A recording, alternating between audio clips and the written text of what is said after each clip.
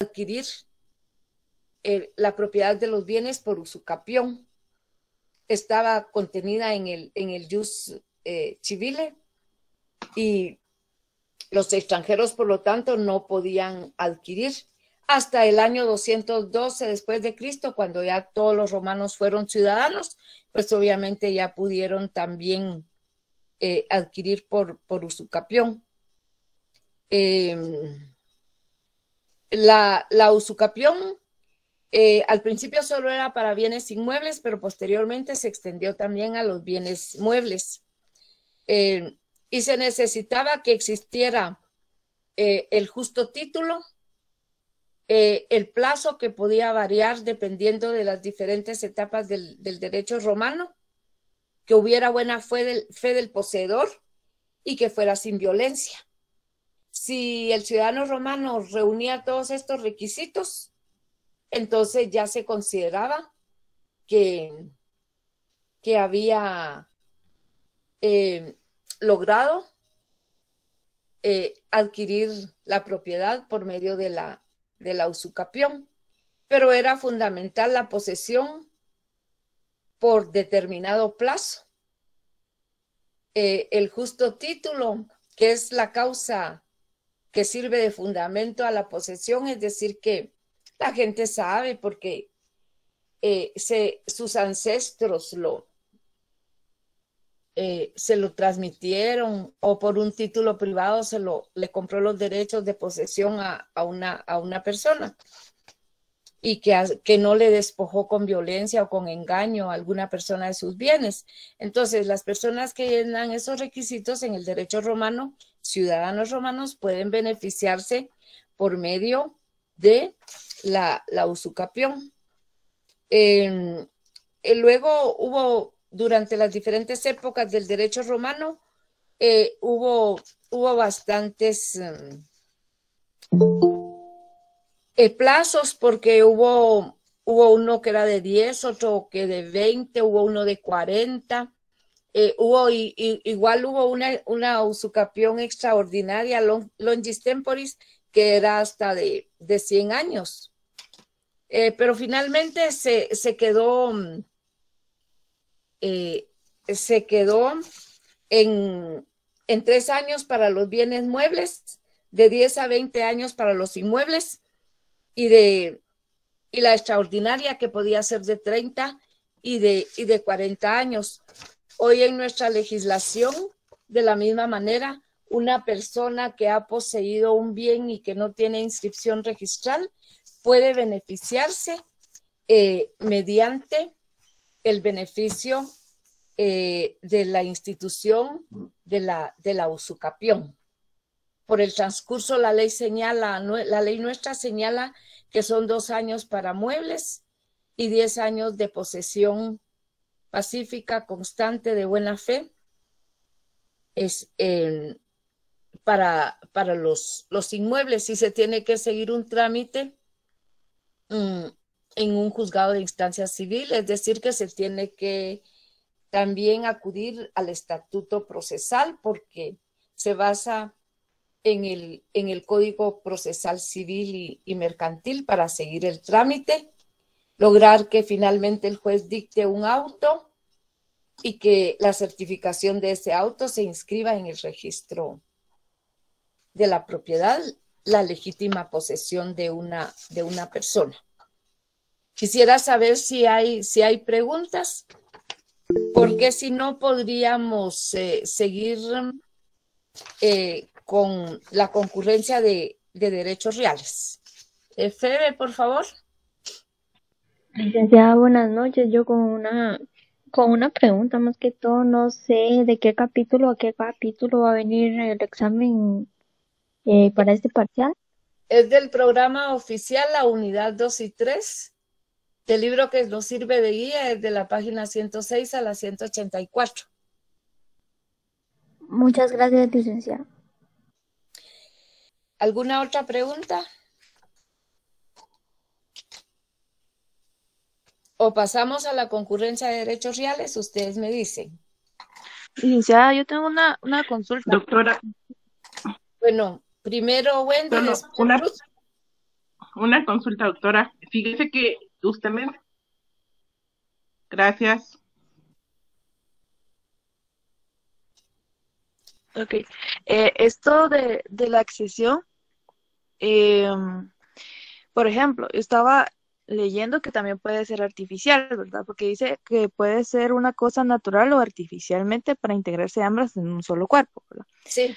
Pero en esa parte artificial sería como esta parte que ya no sea de la buena fe, sino que alguien venga y, y coloque algo para que ya no vaya al río donde iba, sino que se vaya para hacia otro lado.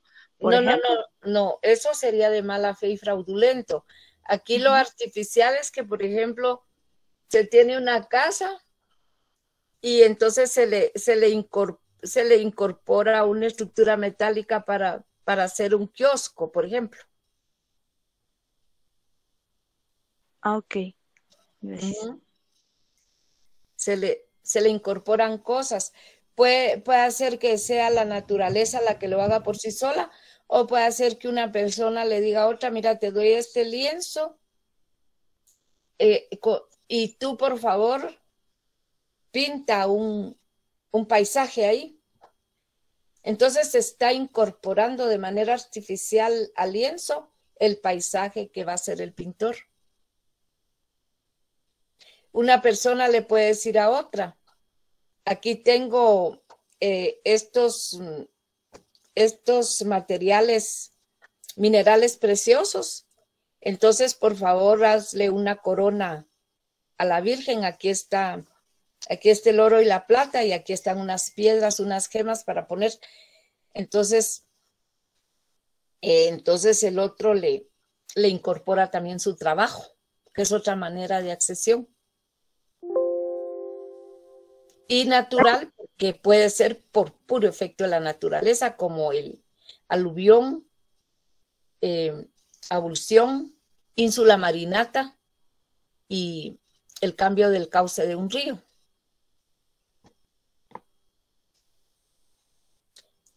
Eh, por favor, mm, estaba pidiendo la mano antes mm, Yesenia, creo que era. ¿Quién había pedido la mano antes, por favor? Había, había levantado la mano antes de Wendy, alguien más por ahí. Adelante.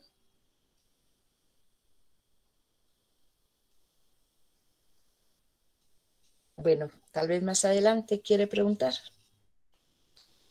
Entonces estaríamos con la concurrencia. Ah, por favor, Ruth Yesenia. Sí, doctora, gracias. Eh,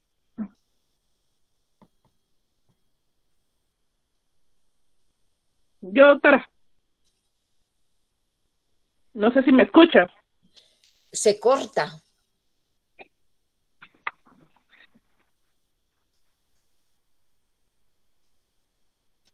Eh, sí, doctora, no me escucha. Sí, sí, escuchamos, sí. Es que sí, fíjese que como usted mencionaba, eh, tres plazos, ¿verdad? Eh, Sí. De dos años tienes muebles. Sí. Ay, no me escucha. Y 10 años, y 10 años para inmuebles. Sí, doctora. Sí.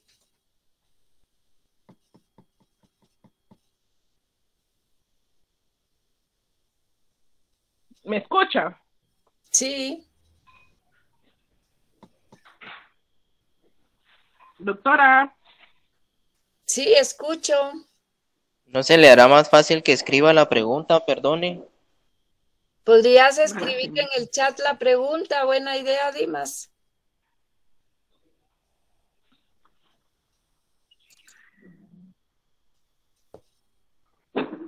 Sí, disculpe, creo que es mi señal. Entonces, mejor para otro día, doctora. Gracias. Muy bien. También eh, eh, Febe Sí, quería... es que lo que pasa es que yo le estaba preguntando con respecto a los...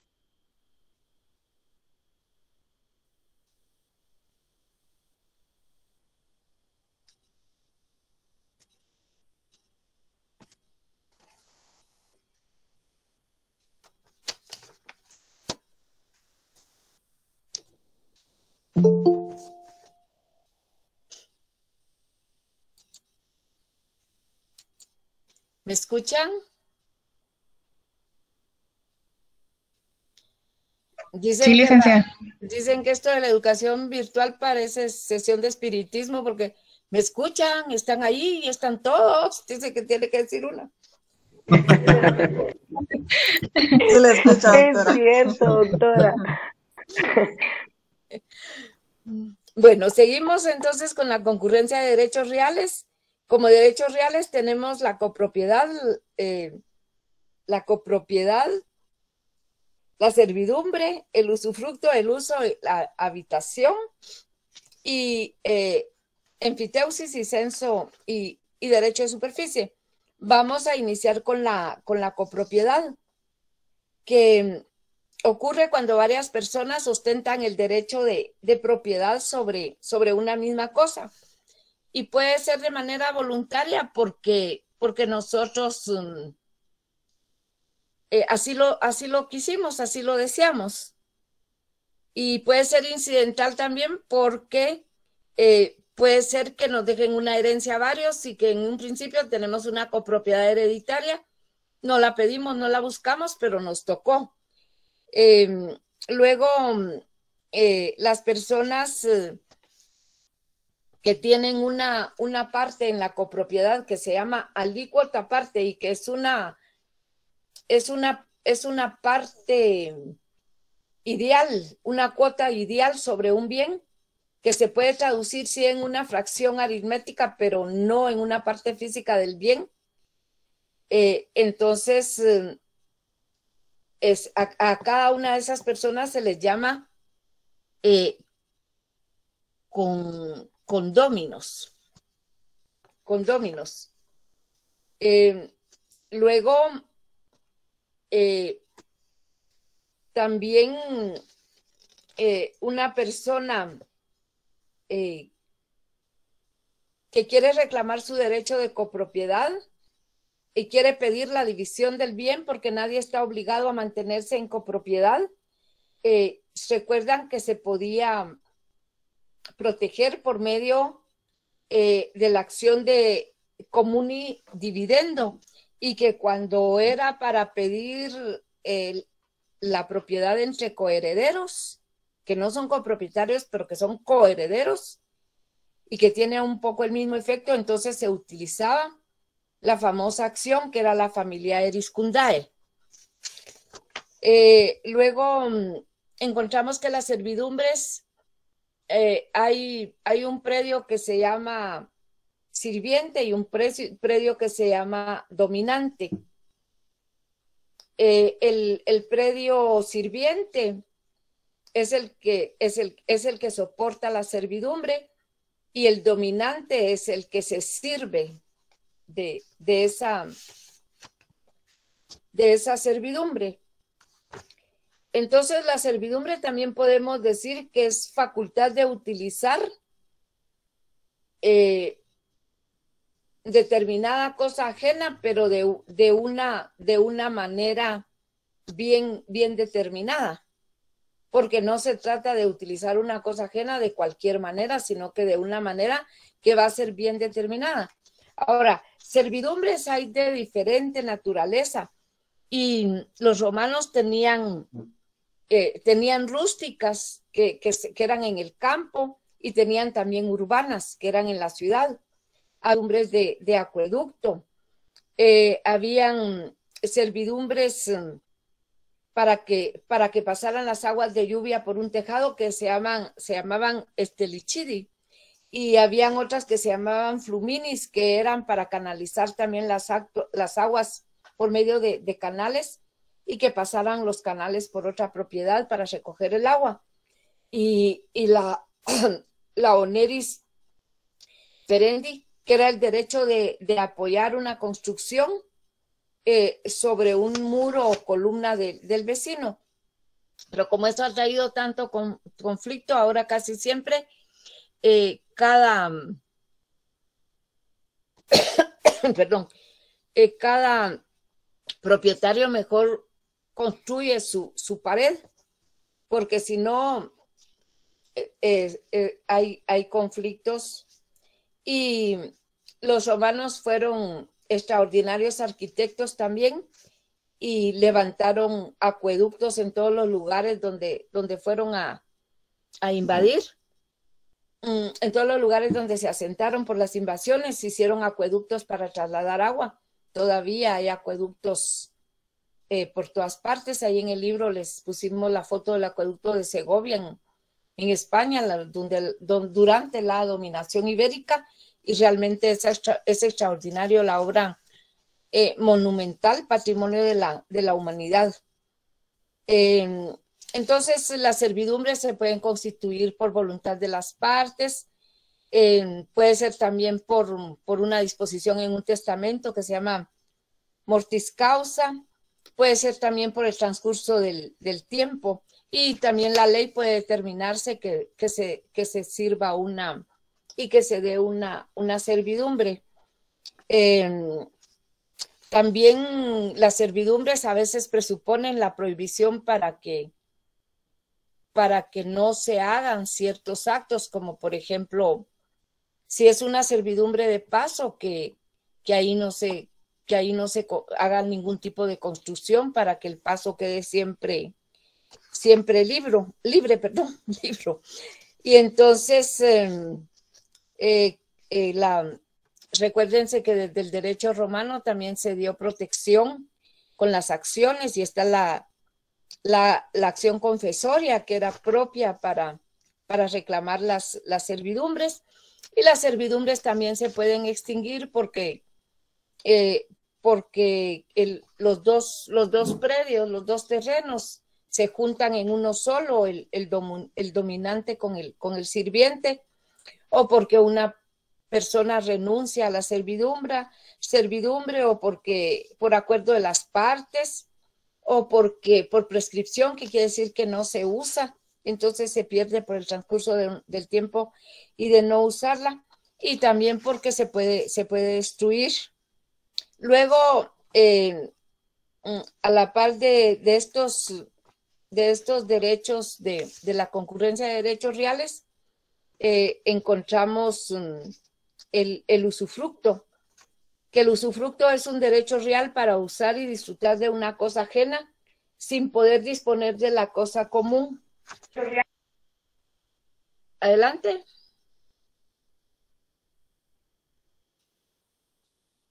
Eh, la persona que goza del usufructo se llama usufructuario y la persona que, y la persona que es mm, dueña del, del bien que queda grabado con el usufructo se le llama nudo propietario.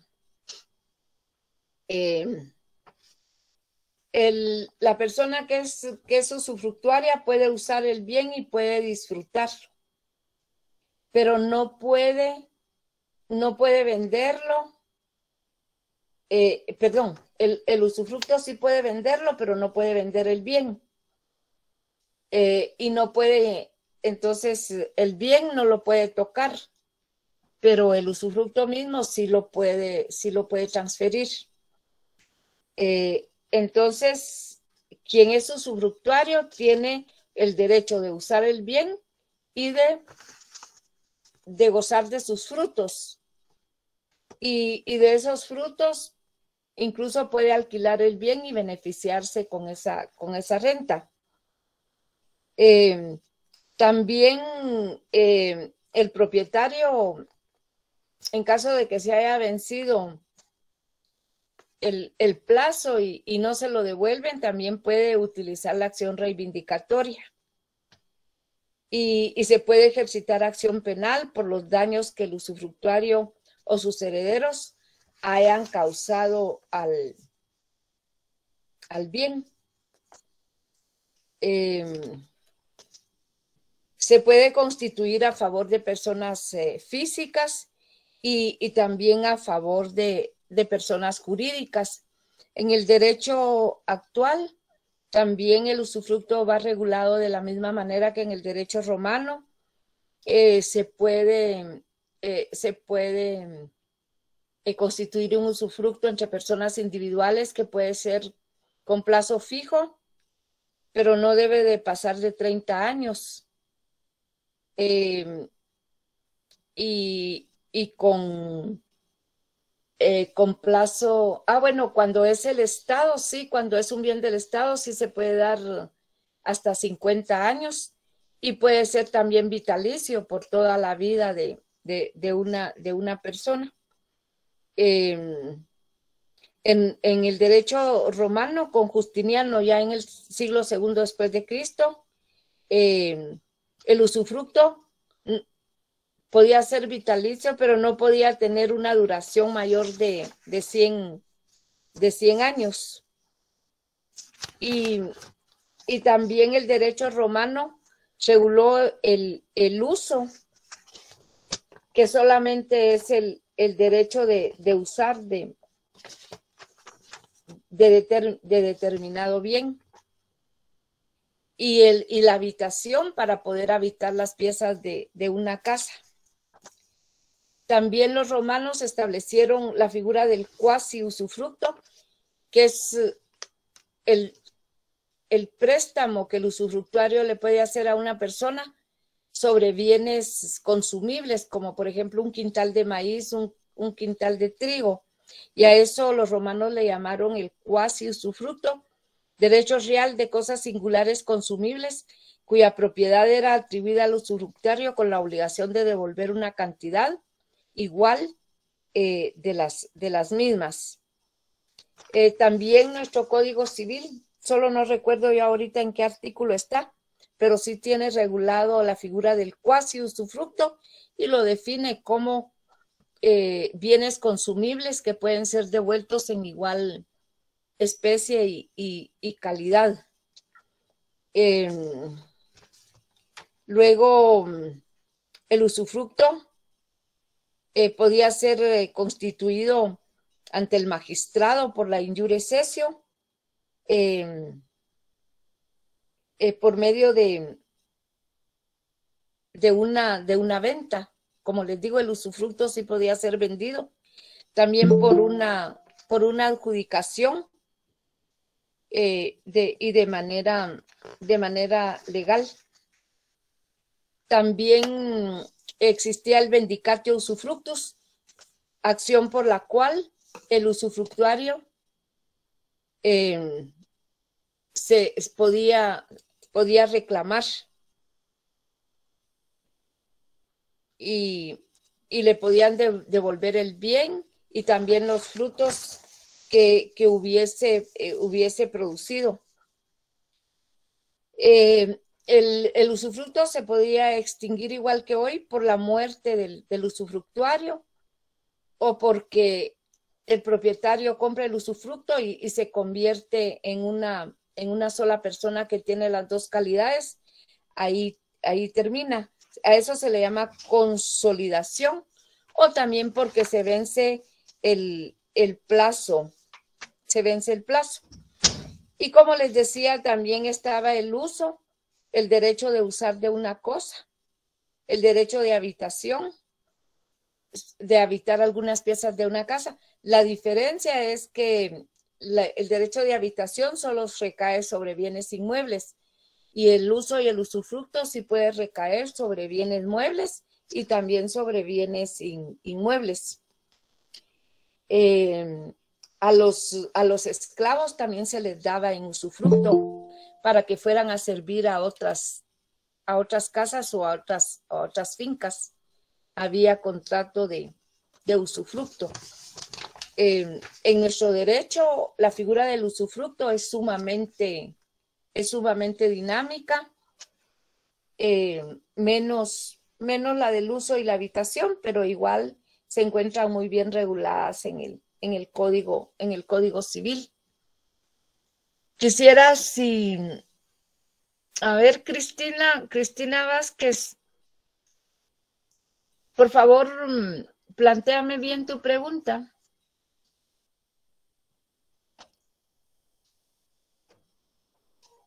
Cristina, por favor. Buenas noches, licenciada. Sí, disculpe con una pregunta. ¿Será sí. que usted me podría dar un ejemplo de usufructo? Sí. Bueno, Gracias tú eres la, tú eres, eh, tu mamá es la propietaria de una casa. Y, y entonces tu mamá es propietaria de una casa y, y te, la, te la dona a ti. Pero ella no tiene otro lugar a donde ir a vivir, entonces decide que, que te la dona a ti. Quiere decir que no le vas a pagar ni un centavo, te la estás regalando. Pero ella se reserva el derecho de usufructo, entonces vitalicio. Significa que ella se queda viviendo en la casa toda su vida. Y, y si ella un día no quiere vivir ahí y quiere rentar la casa, la puede rentar y la renta le queda a ella. Entonces quiere decir que, que hay una, una propiedad eh, con, con usufructo. Tú eres la propietaria del bien, pero se, va a hacer se van a hacer efectivos tus derechos hasta que termine la copropiedad. Licenciada, buenas noches. Disculpe la consulta. Sí, Rodrigo. En este caso, la copropiedad terminaría, digamos, cuando la persona fallece y ya termina como ese periodo de usufructo. Sí, o pero si el usufructo no fue vitalicio, sino que fue por 10 o 20 años, eh, hasta que, ah, cuando se cumplen los 10 años o los 20 años o los 5 años, el plazo que haya sido. Y si es vitalicio, entonces, ¿qué procede, doctora? Hasta, hasta, que muere la persona que tiene el usufructo vitalicio, entonces se presenta en el registro de la propiedad la certificación de la defunción y con eso cancelan el, el usufructo. Y la propiedad queda libre a nombre del propietario, nada más. Gracias, doctora. Bien. Licenciado, perdone. Doctora. Y si es en y si es por um, compraventa y hay usufructo vitalicio. Sí, igual. Eh, la, la propiedad la tiene quien la compró y el usufructo vitalicio lo tiene la persona que quedó instituida en la escritura como, como usufructuaria vitalicia y hasta que muere, el propietario puede tomar posesión de los bienes y disponer. Gracias, doctora. Queda claro, si no hagan más preguntas con ejemplos y todo, yo con mucho gusto. Lucía. Buenas noches, doctora. Disculpe una pregunta. Eh, ¿El usufructo podría mm, llegar en algún momento a sufrir o a hacerle algún tipo de cambio? Sí, eh, podría sufrir un cambio si, por ejemplo, la persona que tiene el derecho del usufructo decide venderlo. Lo puede vender. ¿El usufructo se puede vender? Sí. Oh, no sé, no sabía. Y se lo puede vender al mismo propietario. Se lo podría vender al mismo propietario del bien y ahí se produce una, una consolidación también, porque entonces ya el propietario queda dueño del usufructo y, de la propiedad, entonces ya no tiene limitación. Y, se lo y si él quisiera vendérselo a otra persona, a un hijo o a un hermano o a X persona. Puede hacerlo, pero no mientras lo tenga la otra persona. Licenciada, disculpe una pregunta. O sea que ah, se puede decir que es la dueña, porque si puede cambiar de opinión y, y, vender, por ejemplo, entonces la otra persona no toma posesión. Entonces realmente nunca se le quita ese, ese derecho. ¿A quién no se le quita el derecho? Eh, al dueño, eh, o sea, el que está donando la propiedad yo pensé que si, si la donaba, ya quedaba así establecido que se tenía que cumplir como era.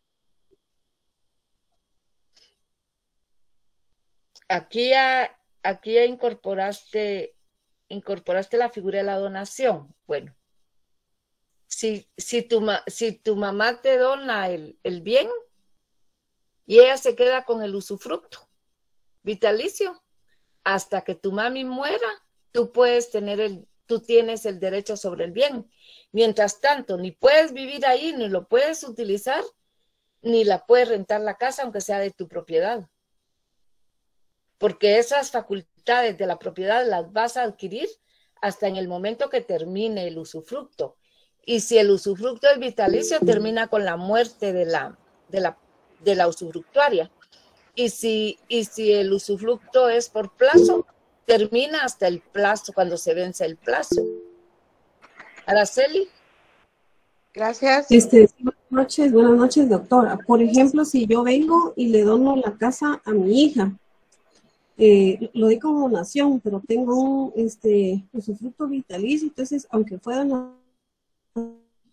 igual yo eh, arreglar esos papeles y, y, aunque se la doné, por ejemplo, ¿verdad? Le di mi palabra que se la iba a donar, pero mi hija se portó mal y todo, entonces yo decidí quitarle esa donación y necesito sostenerme, ¿verdad? ¿Puedo igual hacerme para atrás y vender esa propiedad? ¿O ya no puedo cambiar el documento? Eh, para revocar la donación por ingratitud solamente existe un año en nuestra ley. Y si pasado ese año la, la donación o compraventa que se hizo queda firme y no se, no se puede revocar. Gracias, doctor.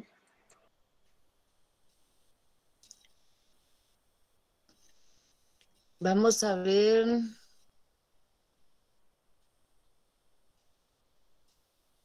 Los bienes en copropiedad pueden dividirse aunque hayan intestados entre los copropietarios, dice Walter.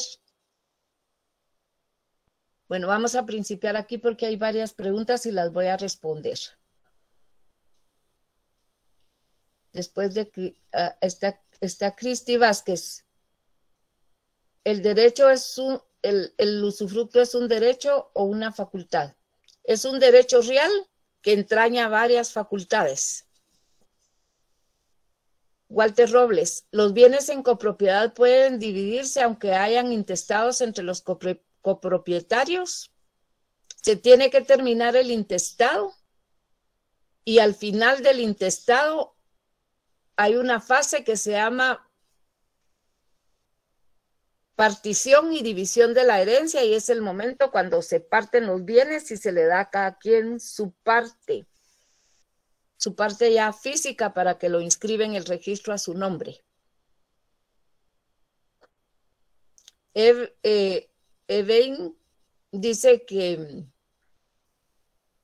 que les, les, donó el, les donó un terreno y su papá se quedó con el usufructo y entonces él sigue viviendo ahí en el terreno, en su, en su casa o lo que sea, porque todavía los, los hijos no tienen, no tienen derecho, derecho pleno hasta que no termine el usufructo, que termina con la vida del, del papá.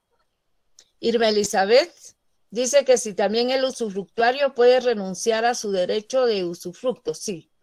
Un usufructuario puede renunciar al derecho y, y se termina ahí. Lo puede vender también su derecho y se lo vende al, al propietario del bien porque el propietario del bien puede estar interesado. Eh, a ver. Eh,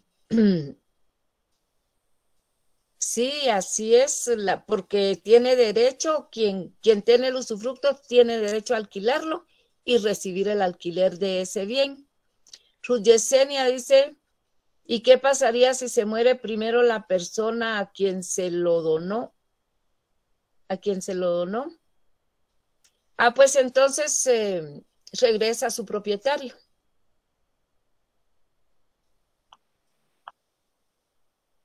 Ahora si, si se muere, si se muere antes, mm, si se muere la persona que, que se lo donó, entonces eh, son los herederos los que tienen que esperar que se cumpla el plazo.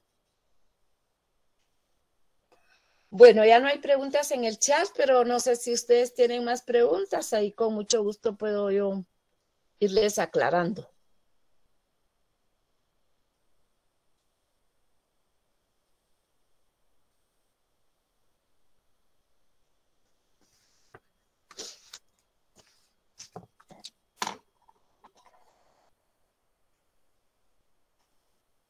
Licenciada, solo una consulta. Sí.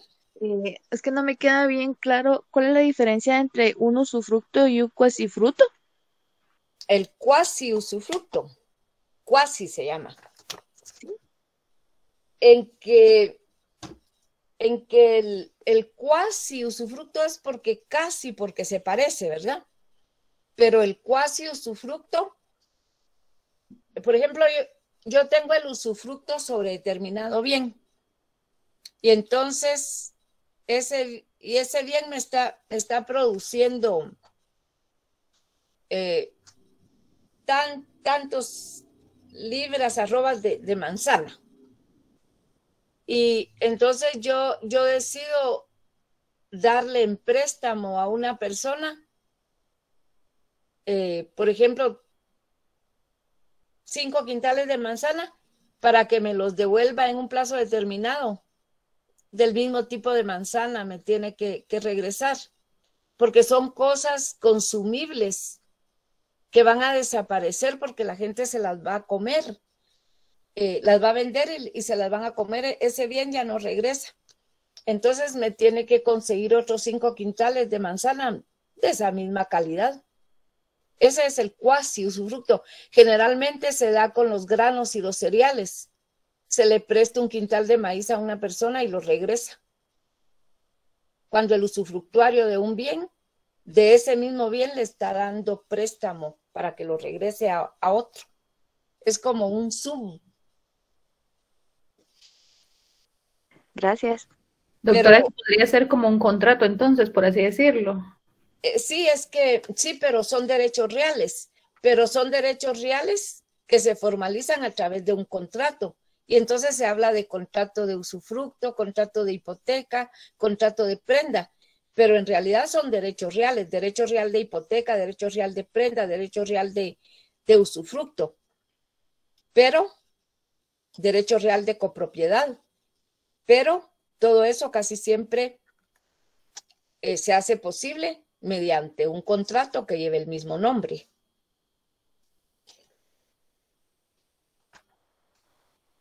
Gracias, doctora.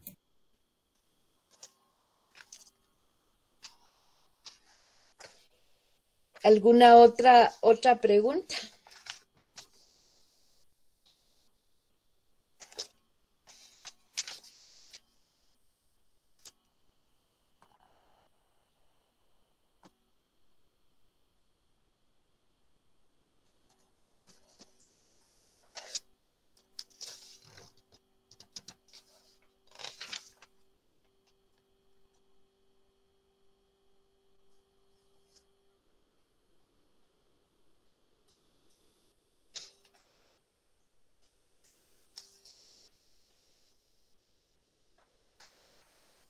Pues sí, ¿no tienen por ahí más, más preguntitas? En la próxima clase tenemos dos, todavía una pequeña parte de, de, la, de la concurrencia de derechos reales. Y con eso estaríamos terminando nuestro contenido para, para segundo examen.